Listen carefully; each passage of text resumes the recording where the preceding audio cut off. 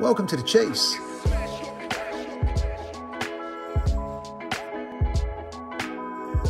The Chiefs is a White Ark podcast aimed at specifically giving you an insight into what makes great leaders and entrepreneurs in a variety of organisations tick. We call them Chiefs. My name is James Ciuffetelli, and together with my White Ark co chief, Jo Hands, we're going to attempt to take you on a journey and talk to as many chiefs across as many industries as we can to give you an insight into A, what makes them tick, and B, what makes their enterprises thrive, and more importantly, what they've learnt along the way. The Chiefs. Welcome to the Chiefs, a White Ark podcast specifically aimed at giving you an insight into what makes great leaders tick.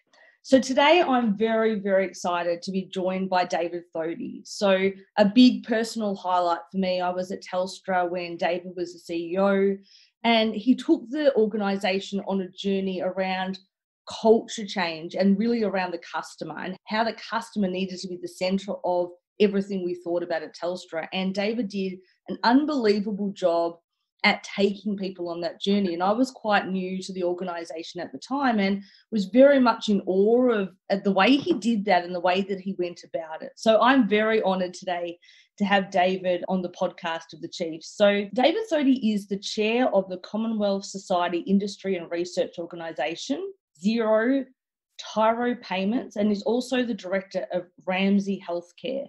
Many people know, however, David Thodey as the CEO of Telstra in his time and has had many senior executive roles in a range of different companies. So previously, he was the executive director and CEO of Telstra, appointed in May. And he retired his position on the 30th of April 2015. Before joining Telstra, David was CEO of IBM, and during his 22 years at IBM, holds many senior executive positions. So, what an absolutely unbelievable experience that David brings. So, today is all about you, David. A lot of people will never get to meet you, never get to have a conversation with you. So, today is to find out a bit more about you, your journey, the lessons you learnt along the way, and how other people who are also doing their leadership journey can learn from you. So, we'll get the ball rolling. So, David, what is your personal theme for 2021? Well, firstly, Jo, thanks for having me on this podcast. For me, it's my pleasure, and you make me sound really old after you went through all that stuff, which um, which I don't actually I don't feel old at all. I mean, I really enjoy life. Yeah, interesting question to k- kick off with. You know, what's my personal theme this year? Look, it, it's really hard to go past COVID and, and getting back to normality, whatever that new normal will be. It's been a a pretty amazing 15 months, hasn't it, for all of us? And and personally, but in work, the whole economy, and even today, as we're doing this podcast, I see Brisbane's going into lockdown for you know two or three days. So, yeah, I think that's really what I, I'm reflecting on here. How do we individually sort of get back to whatever this new normal is? How do we get the organisations we're working with, our lives, our families, back to that? And of course, yesterday, uh, JobKeeper stopped, so we've got a million people who are getting supported now transitioning into a new world. So that's my personal theme at the moment. So that's uh, preoccupying my thinking quite a bit. Yeah, and it's completely fair enough, right? It was like when it first happened, like this time last year, we were all in kind of survival mode, right? And yeah. now we're into how do we get back into some level of normalcy, whatever that is. And yeah. what does that mean for our personal lives, our professional lives, the businesses yep. we're running? And everyone yep. is navigating a new normal, but also something that they've never navigated before. So it's yeah, yeah. dealing with uncertainty, which I think a lot of people are struggling with. Yeah, no, no, absolutely. And ambiguity, it isn't that apparent what the answer is all the time. And we're trying to navigate our way through there. And I think that's a really important observation, Jo, we just can't get absolute clarity. And so we've got to sort of be a bit grey around the edges, but keep moving forward and correcting as we go. I mean, even the vaccine or how we handle this virus. I mean, CSIRO, we've done a lot of work in that area, but we're still discovering things all the time about how it behaves. These vaccines, yes, we've rushed them. Isn't it great what they've done? It's not 100% about everything. So but we've got to work within those uh, guardrails and even coming back to work, which we might talk about later on.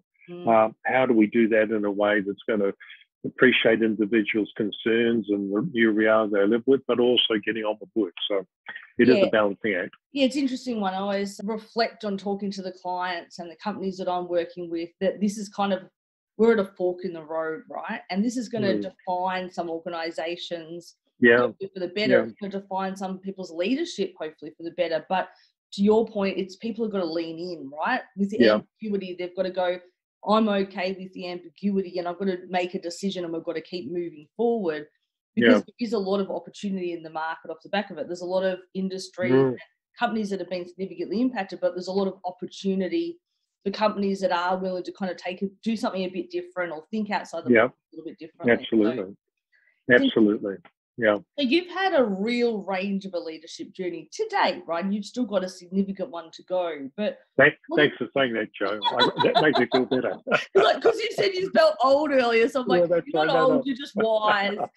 um, no, that's right. No, no, um, no, we've all got a long way to go. we do, we do. What are the key lessons that you've learnt along your journey so far? Yeah, yeah always an interesting question. And, and as with leadership, we all have our personal journeys and, and we all go to leadership classes and we get taught about how we've got to be, you know, all knowing and wise and good business judgment and great people, people, you know, etc.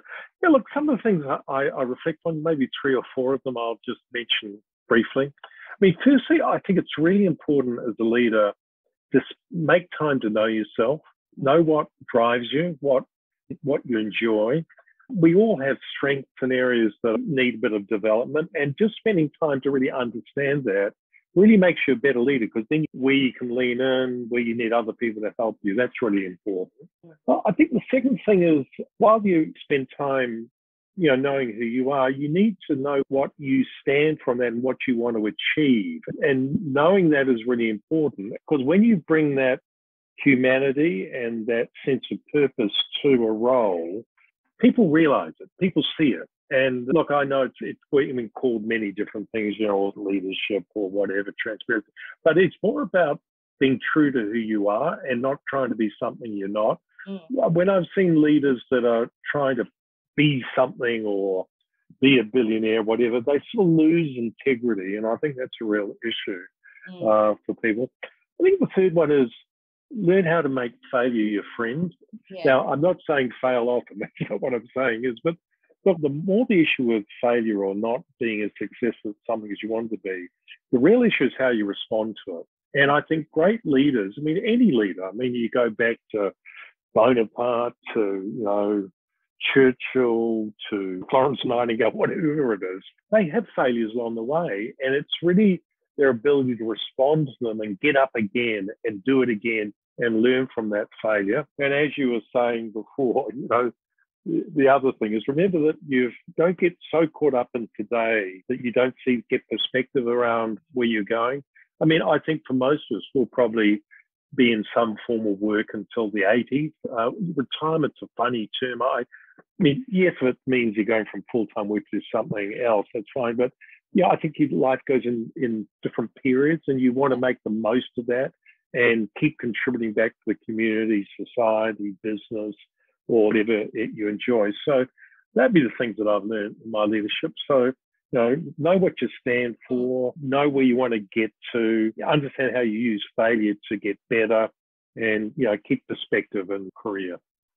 I love that. I think it's quite insightful. And when you say them, you go, they all make sense. But yeah. sometimes we get lost in the business of we our do. lives, in what we've got to achieve, in the rat race, in managing children as well as managing your personal and your professional life. And it's hard to take sometimes take a step out. So one yeah. of the things I was thinking about when you were saying those four things, David, was around a mentor. And there's a fair bit of conversation mm. at the moment around mentorship. And this wasn't on my list of questions, but you know, do you have a mentor and have you found during your leadership journey mentors valuable? Yeah. Well, I've always had people right through my career who I would talk to, and they weren't necessarily, in inverted commas, mentor, but I all, always made a point of having quite diverse people who didn't necessarily always agree with me or they Yeah. had a different perspective on it. Because I think as you, you know, for all of us, we realize that you know, we do have these biases or these ways of looking at the world or situations that aren't necessarily helpful and getting other people's perspectives on an issue or what you're doing is really helpful because it just helps you understand, which is part of, you know, being a good listener. But I did actually, when I was CEO of Telstra, I had a formal mentor Okay. and it was a person who, you know, was quite different to me. I had different perspectives on it, challenged me sometimes, would say, well, David, you know, what are you doing? Have you made a decision yet? Well, it ended up being quite a good friendship, but it was quite, in a way, it was someone who could confront me outside of the work environment or the family environment. So, yeah, I do think it's really important. I think we all need input into Yeah. our careers and lives and sometimes just blow some steam off because you, you get frustrated. So I think it's really important. Yeah.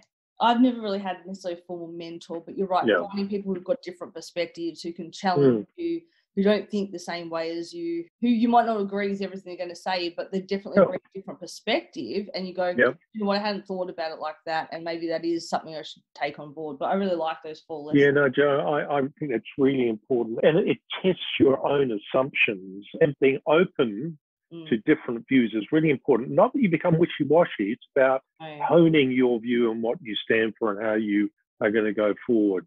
Uh, but you've got to listen first. So that's why, you know, listening is always an important skill to have. It's very important. And I think Yeah. it's something that's definitely on my list of things to focus on. And I think when you do really listen, Yeah. um, rather than just thinking of the next thing you're going to say, but you actually genuinely really do listen, you can get a different view of the world, right? Yeah. Yeah. No, Really big really, one. so true. So true. So the next question is what's something that you're really proud of or what's been a highlight for you in your career to date? Yeah.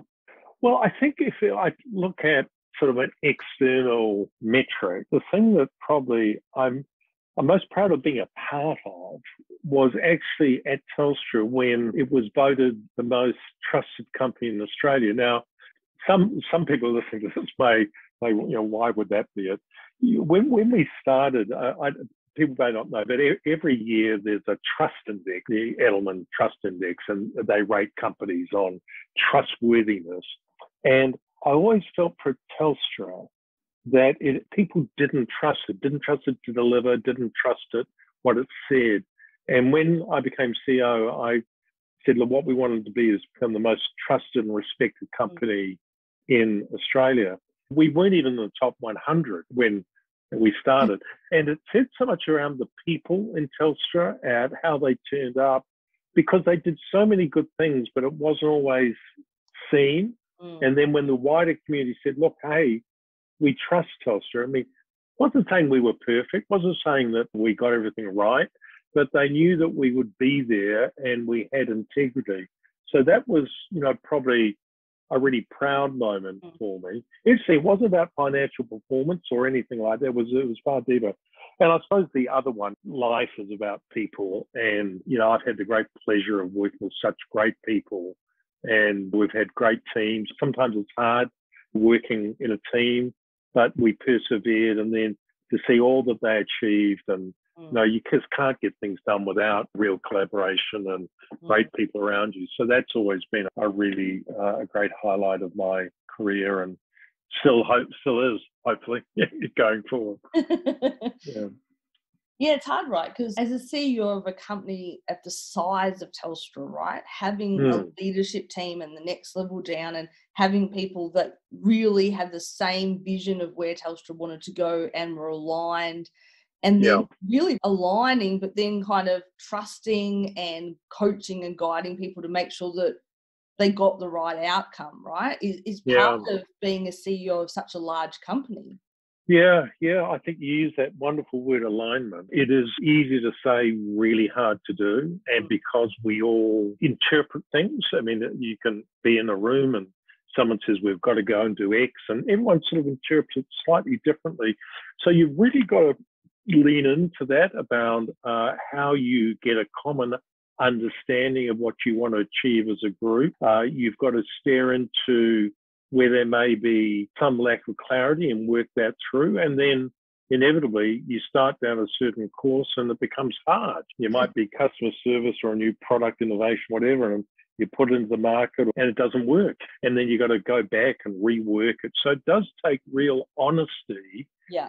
And real transparency to get alignment. And I, I can remember in all my roles I've had, it seems like every three to four months there sort of needs to be a resetting. But You've got to come back and say, hey, are we really yeah. still aligned? Is there something else we need to change up here to keep that sense of purpose and being driven by something bigger than you all individually? So, yeah, and it's hard work. Hard work. Mm-hmm. It's not straightforward. And I think in some of the companies that we're working with at the moment, we're seeing that it's always been important, but I think more so now with this cold post-COVID period being really aligned to what's important, right? What's not so important, yeah. what's really important, what you're going to hone in on. And and yep. where exec teams are really clear and they are aligned and they're running the same direction, the outcome yep. is so much better than. And don't get me wrong, no exec team is perfect, but yep. continuing to get on the same page, having the difficult conversations, being able to air things together rather than behind each other's backs, and have really honest, frank conversations is kind of part of the process, right? So that's yeah, um, I couldn't agree more. And you and you do need to bring objectivity into the room. I mean, it's not to, you know, sometimes you've got to work out personal traits and how we're all working together, but the, you need something, a real metrics about real achievement and hold yourself accountable for them and the group so that you can drive forward and make a difference because at the end of the day, we're there to jointly achieve something. Yeah. I always said that, you know, great leadership is actually achieving something bigger than each individual could achieve themselves. So it's about how we work together to create something uh, that is greater than the, the individuals all working individually. And that's what great leaders do. Somehow they inspire you, allow you, enable you to really contribute and then to achieve something that is we all probably start off thinking gee can we do it but then somehow you do and gee it's inspiring when it does happen yeah it's really good yeah. as you say people are kind of the heart of everything right you get the people yeah they are right yeah. you can get everything yeah. right yeah. So I'm interested, and maybe it's a bit more of a thing, but you know, you played obviously a key role in this whole customer culture piece at Telstra. Yeah. You mentioned the trust piece, so I assume that all kind of links. But what drove this program of work and, and, and what, what was, I suppose, one of the key highlights from your perspective? Yeah. So there's a couple of angles on this one. I mean, one is for, for Telstra or any organization, I mean, customer service is sort of in a way so obvious. So you yeah. want to give good customers. Well, I give good customers so I feel better. Someone says thank you. But actually, it was driven by that. And my I'd worked at IBM and customer centricity had always been there. But there was this other side of me, well, a couple of sides actually. One was I'd always been frustrated. I'd worked at big organizations and I'd, I'd studied through the work I'd done. Look, the big organization, and wonder why is it that every five to six years they sort of go through either the CEO changes, they change all the leadership team, or they have this, you know, burning platform for change. Another transformation comes along, and I, I, I was always wondering why is it that you have to go through these like cathartic experiences where everything needs to change and off you go. Why weren't we able to be in a state of continual improvement? And the great thing around customer centricity, and look, maybe there's other ways to do it, I don't know, but if you're truly driven by the customer and and the customer's voice comes into everything you do from you know, product you design, the way you deliver it, the way you build them, the way you do receivables, everything you do, you, you're just continually being driven to improve. And customer centricity becomes this constant pursuit that you never quite arrive because customers are, they're always demanding. But if you get it really, then you start to drive innovation because you want to do it better. You drive efficiency because complexity and failure is the curse of any organization. So serving the customer, and by the way, I'm not saying customers are always right. No. You know, they're demanding and you've got to make judgment. But if you truly get the voice of the customer into everything you do, it stops you becoming lethargic or thinking like you've arrived because then you've got this constant reinvention and you keep innovating and you keep moving forward. That's why I really liked it. And of course, it's cultural as well because often in our organizations, especially big complex ones, they mm. become very hierarchical and you get decisions often get delegated up rather than downward. And what you want to do is create an environment where people are empowered mm. to serve the customer. And it's amazing. And it comes back to this trust word. You trust people to do the right thing. 99% of the time, they will. It's so interesting in big organizations. Often, all the rules and the thou shalt not are usually to try to control the 0.05% of bad behavior rather than celebrating the good behavior and moving forward. So that's why it was so important to me and to us at Telstra. And it really did move the culture of the organization. And not perfectly, we still failed, but we still had this mm-hmm. deep, deep seated drive to really delight the customer, create a, a, unique experience. And it drove differentiation as well. Mm-hmm. So it isn't just a feeling, it isn't just a philosophy, it, it really is about driving deep improvement in organizations. So yeah, that's what drove it for me. And we had a blast, really. It was great fun. Yeah, it's really interesting, right? I, I like the concept of kind of continuously improving. And if you put yeah. the customer at the center, how do you continuously think about how you're going to change things to make it yep. work better for them and putting yourself in their shoes?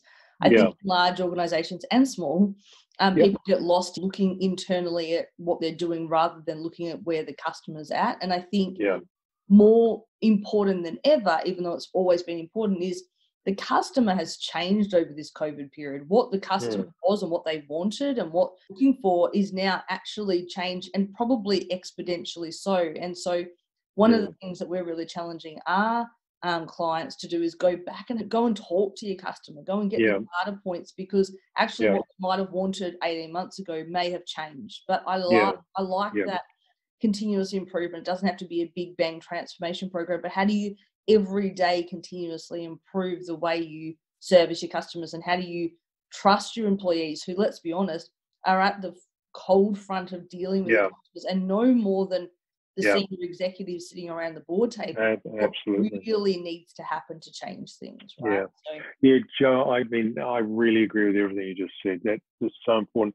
Interesting, you know, a couple of other just sort of points. I mean, I can talk a lot around this particular subject, but it's got to be driven by real customer data. It, you see, yes. the other thing is it, we put in a we spent fifty million dollars putting in a advocacy. We could tell you customer satisfaction by product, by process, by channel, by interaction. So it was very data driven, and that was the voice of truth. So it wasn't just attitude. And I often say we treated the customer data as important as the financial data.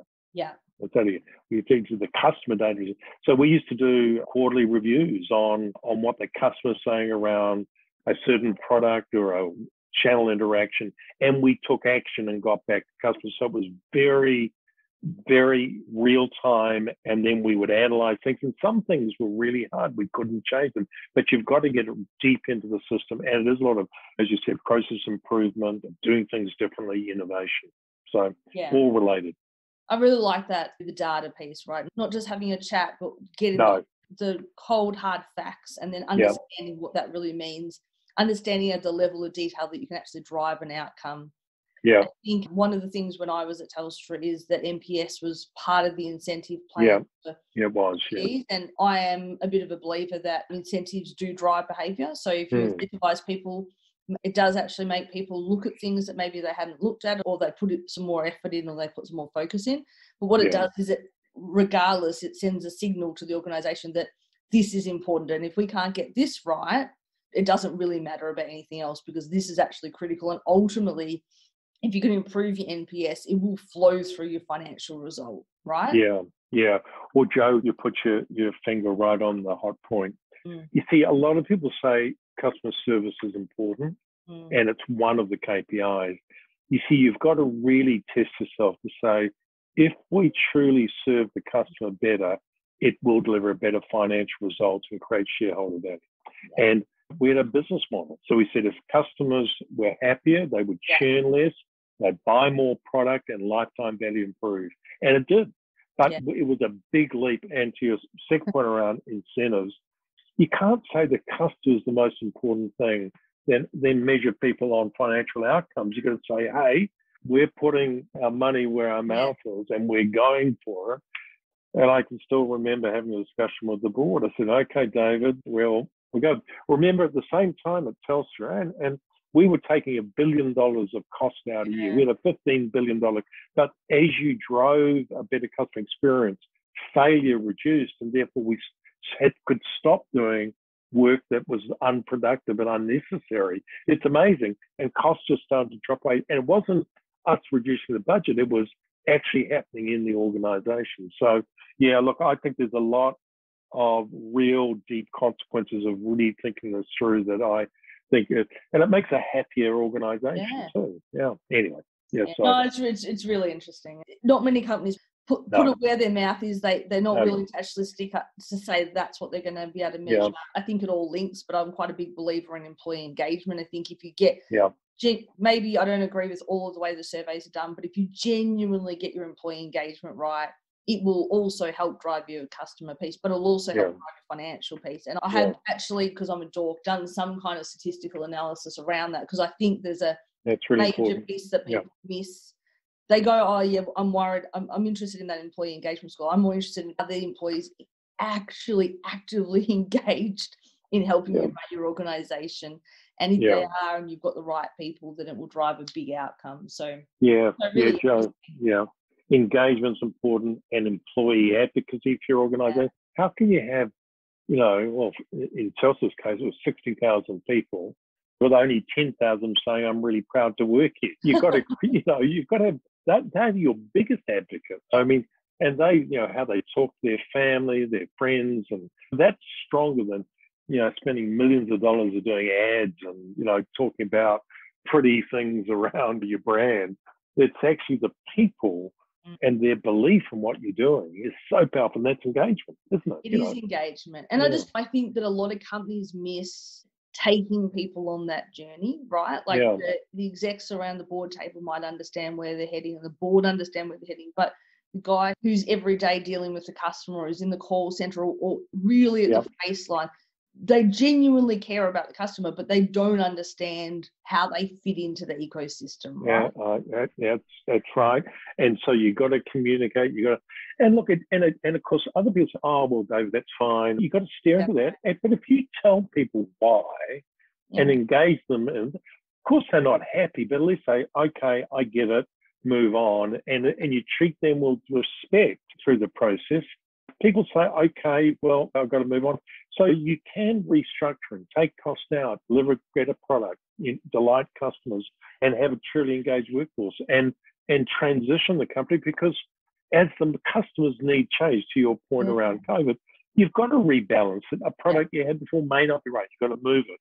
You've got to invest something. That's just life. It's like children. I mean, they go through different stages and you change. So I think people understand that far more than we give them credit. Yeah. And and we got to engage them in the journey, as you were saying before. Yeah. Absolutely.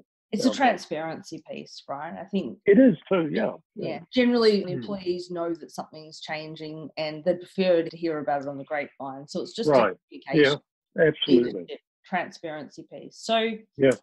last couple of questions for you if Yeah. what do you wish someone had told you 20 years ago not trying to make you feel old about being a leader Yeah. Yeah. What would it be? Well, look, I think I think I'd probably say be present. Yeah. Um, be in the moment. It's so easy when you've got a lot of things going on as a leader, you know, to get distracted. And it's really important you force yourself to be present in the moment and get the most out of it. I think the second thing I'd say is remember to make time for yourself. You need to, as I used to put, you know, schedule time for Yeah. myself and to think. Now, because you just to be to be able to turn up and make a difference, you need to invest enough time in yourself. And look, uh, I think for all of us, especially in these sort of big jobs, it's partly look after your health as well because you want to be around into your 80s and 90s and doing whatever you want to do. And I think it's really important you have that longer term view. So that would be what I'd say. I like that. I think being present in the moment is Yeah. So powerful. And when you have back to back meetings and you've got so Yeah. many demands, it's really actually very hard. Yeah, it is really hard. You've actually got to actually tell yourself at the start of every meeting, do you know what? I've got an hour with this person, or I've got half an hour, and actually, for them, this is probably the most important meeting of the day, and I need to actually be present. I need to listen. Yep. Um, and I think you said it earlier around some of your feedback around lessons that you've learned, but knowing yourself, understanding yourself, giving yourself Mm, space, thinking about yourself, right? And I think that mm, start off in your career, it's very easy, and I definitely did it, getting the rat race of getting Yeah. to the next level, getting to the next job, getting to the where you want Yeah. to go, getting enough money so that you can pay your mortgage and do what you yeah, your yeah, what you want to give your kids and all of that. yeah, But actually taking a taking a breath at some point and saying, why am I doing this, right? And how do I look after myself during the journey? So I'm here for the long haul, but also how do I give myself some different perspective and things? I think Yeah. it's a really important one. So thinking Yeah. time, not having back to back meetings. I do Yeah. my best thinking on the weekend, but what that probably shows you is I'm not putting enough time during the week to actually. Ah, that's right, Jo. That's right. You need to schedule some more time to yourself. And, yeah, but it is hard, isn't it? Because you've got, you know, all those things. You got the pressure of the kids and getting stuff done and getting the shopping done, whatever it is, and of running a business. So you've got all these pressures of clients that you've got to, so that you then you're making more of a difference when you're really in those moments. But it's hard. So, I mean, they sound sort of obvious, but actually, even now, as I'm, you know, in a slightly different stage of my career, I, I continue to remind myself I've got to make time. By the way, there's that really cool. I, I use Office 365. How it analyzes your diary and says Oh, you're not yeah. getting enough focus time. I think it's pretty good. Well, I go, oh, gee, I need to get more time. Yeah, so It is actually good, but I normally go, oh my goodness, that's not. that's, that's not the answer I wanted. But yeah, I, but I think these things are really important if you're going to really be a good leader and turn up with people, be effective. Yeah. yeah. It's really interesting. Last question for you. Yeah. When you're not working, what are you doing? What gives you energy or a smile on your face? Yeah, yeah. Well, I mean, lots of things actually. I mean, I, I love life. I love I love enjoy people. Obviously, family are really Yeah. important to me. But I look, I do exercise every morning. That for me, that's really important. And you know, so I go off swimming. I enjoy walking in the mountains, and so I make time for that as well. And I do enjoy some of the creative arts, more around woodwork and things like that. So I, I mm-hmm. try to make time. Sometimes it goes up and down. I'm not doing much, but but yeah, those things are really important to me, and being involved in things I enjoy and Mm. seeing things change. So yeah, that's me. Yeah. Well, this has been so inspiring and so fantastic just to Oh. hear from you about your journey to date. I mean, there's lots of takeaways from me, but I think a couple would be knowing yourself, understanding yourself, what do you enjoy, and what do you want to achieve to bring that authentic leadership, right? Yeah. And so while it's a buzz phrase, it's like don't be someone else, be yourself, and bring yourself to work, and and people will respect you and lean in with you more if you do that. I, I think that is is really great. Yeah, I think that whole trusted company piece and and I didn't actually realize that journey with Telstra was really interesting, but that whole conversation we had around the customer culture and how you can just make continuous incremental changes and the fact that Mm, the employees actually know what to do. They just need to be empowered and they need to be Yeah. supported, right? And I yeah, think I had a really great conversation about that customer piece, but also the employee engagement, right? And the importance of the people, right? When you've got Yeah. 60,000 people that you're managing in an organization, you can't do anything without that piece. And I think absolutely. the other piece that I think is coming up a lot in the clients that we're serving is this alignment piece of the executive, on getting that right and being really clear on what you're aligned on, what your priorities are, what you're Yeah. focused on, and quarterly check-ins to your point around data Yeah. and metrics and information that says, yes, we're on track. No, we're not on track, but it's okay if we're not. What are we going to do? Yeah. about it? What's the action that we're going to take, right? yeah, we're all in this new world that we're navigating. We're getting back to the new normal, which will never be normal. It's a way for us to navigate our staff, our companies, and, and us, our personal lives as well. So just Mm. hearing some of the things that you've learned along your journey to date and some of just the key kind of takeaways are absolutely fantastic. And I've loved the opportunity to chat with you today. And thank you so much, David, for your time. My pleasure, Jo, and I wish you all the best and uh, everything you're doing. So take care. Thank you.